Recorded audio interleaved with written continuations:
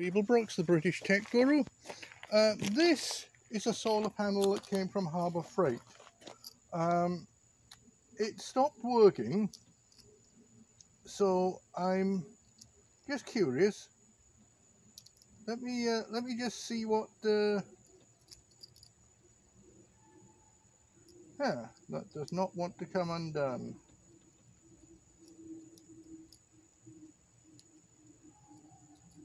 Okay, well, I can leave that. Let me see what this thing is made of. And we have... Hmm. Let's get the right... There we go. See if that one fits.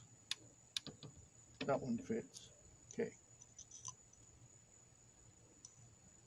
Seems rather appropriate that a Harbor Freight solar panel that doesn't work is disassembled using a Harbor Freight screwdriver. Okay.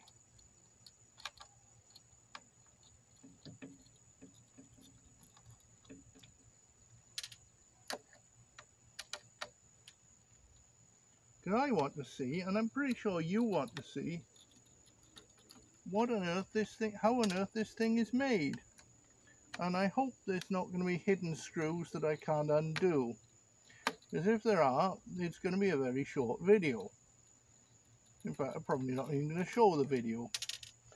Um, because you and I both want success. And success seems to be rather hard to find these days. Particularly with the some of the projects I've been working on. Oh, and my attempts to work with um, Upgrade Linux Mint. Oh my goodness. That ran into so many roadblocks. working at the moment, I believe. But it should not take as long as it has to upgrade Linux Mint. But then on the other hand, I did not say I was a particularly a Linux guru, not guru, I'm a technology guru. Uh,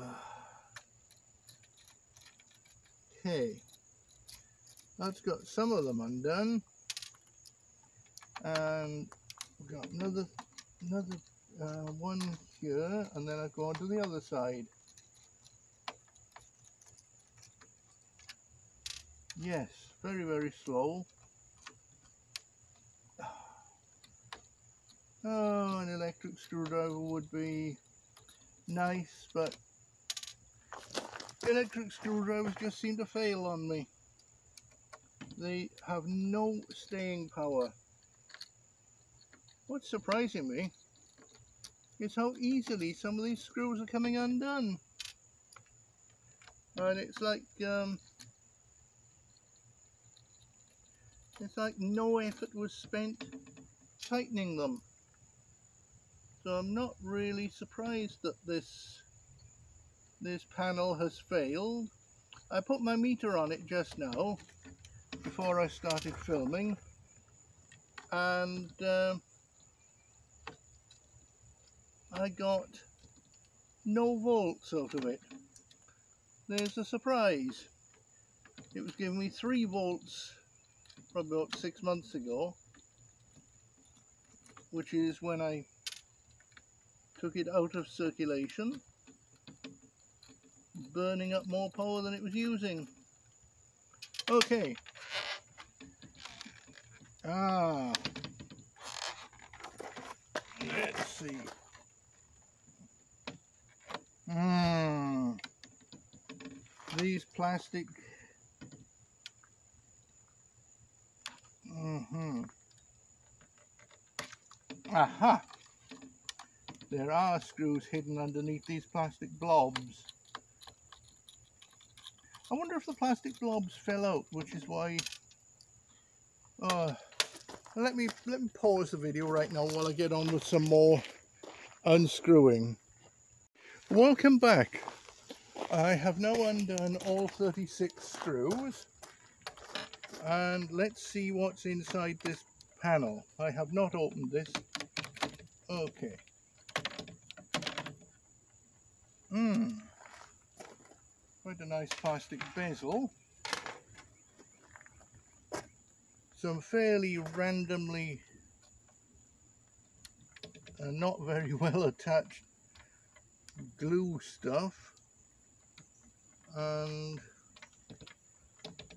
uh, ah, that's where the bezel is cracked so we can work our way around there. Let's see. Well it looks as though this has been put together incredibly cheaply. Um, I'm not seeing where the wires are connected. And this is rather heavily potted in places with uh, what looks like some kind of um, bathroom caulk.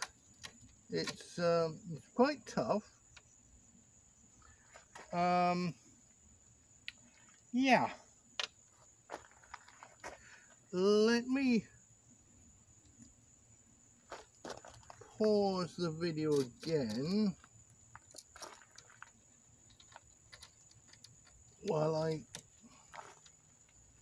no that is yes that's coming off.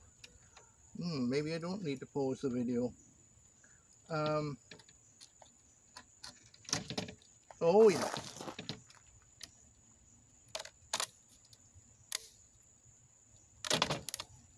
Ah that's coming now. Glass is rather thicker than I than I thought oh good lord.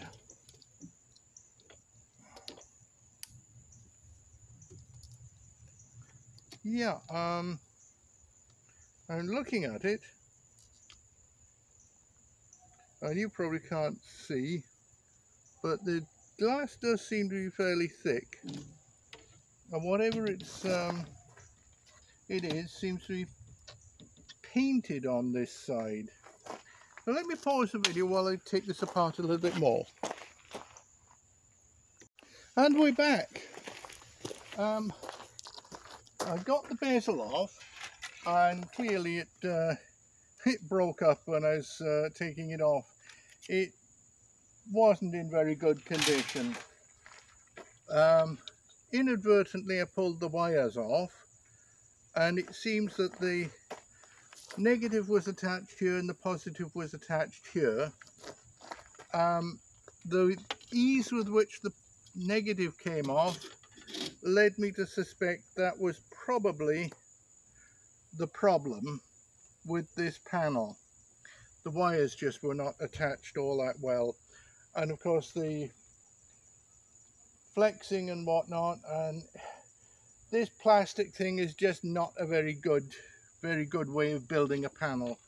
Um, as for this and I, I'm looking at this now and the edge it seems to have a layer of glass at the back then a layer of something else. Uh, uh it, it seems to be a sandwich layer. Glass, something else, and then maybe glass again.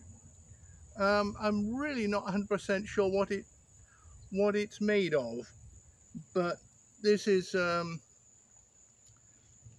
it's quite heavy. So who knows? But and this is a Harbor Freight panel.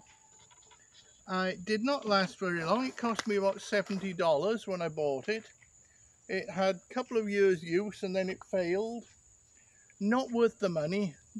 I bought it for looks um, and I was wrong. So don't buy a panel for looks, buy it for the power. Don't get, this was a 15 watt panel, I've got a 20 watt panel that's actually smaller and makes, produces more power and costs less money. I think that, so if you're going to go to, I don't think uh, solar panels are Harbor Freight's uh, best product. and their charge controllers certainly aren't.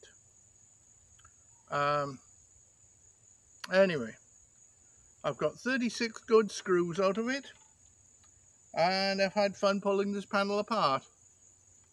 And I'll see you in the next video.